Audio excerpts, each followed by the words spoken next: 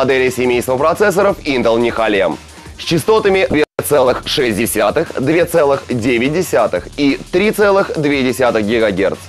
Все четырехъядерные, все обладают 8 мегабайтным кэшем третьего уровня. Новые модели обойдутся покупателям в 285, 560 и 999 долларов, соответственно.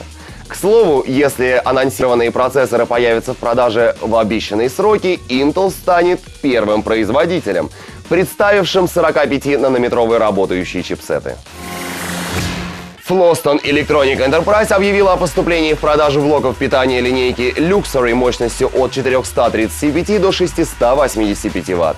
Блоки полностью соответствуют спецификации ATX2.2 и гарантируют стабильную работу компонентов в системе даже с двухъядерным процессором и Crossfire или SLI. Несмотря на приставку Luxury, устройства находятся в бюджетной ценовой категории и будут доступны большинству геймеров.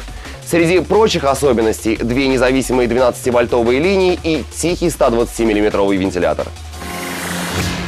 Стали известны подробности грядущей мобильной платформы Intel Centrio 2, известной также под кодовым именем Montevina. По заявлениям создателей, производительность второго Centrio в два раза превышает производительность предыдущих поколений мобильных платформ. Хотя отличий от Santa Rosa не так уж и много. А именно чипсет PM45, GM45, поддержка Intel vPro, 45-нанометровые процессоры с двумя или четырьмя ядрами и несколько других.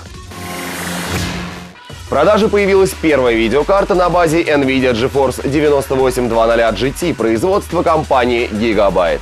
Плата GeForce 9800 GT является последней построенной на графическом ядре G92.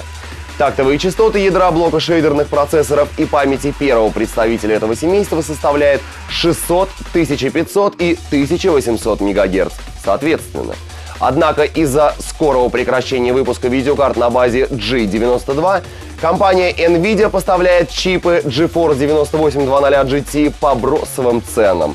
Так, модель от Gigabyte обойдется жителям США всего в 5000 рублей в пересчете на российскую валюту.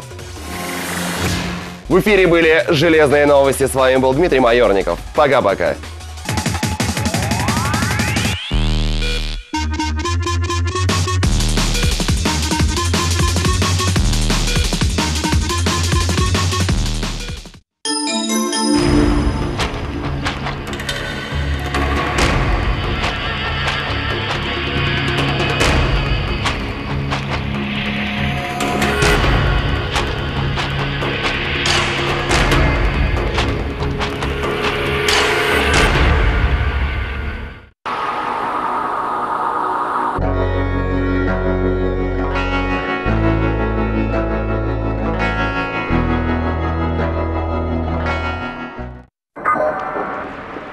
Кровь